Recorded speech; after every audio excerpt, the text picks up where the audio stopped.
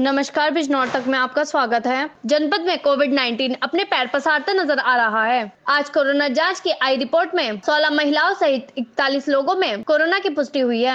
आपको बताते चले कि जनपद बिजनौर में लगातार कोरोना मरीजों की संख्या बढ़ रही है। जनपद में अब तक कोरोना मरीजों की संख्या चार हज़ार छह सौ उनतालीस हो चुकी, जिसमें ऐसी चार हज़ार चार सौ आठ लोग कोरोना को मात देकर ठीक हो गए। जबकि छियासठ लोगों की कोरोना से मौत हो चुकी। अब जनपद में कोरोना के एक्टिव केस एक हैं।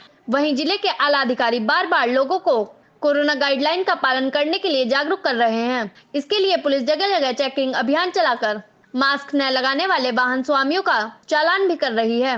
लेकिन इसके बावजूद लोग लापरवाही से बाज नहीं आ रहे।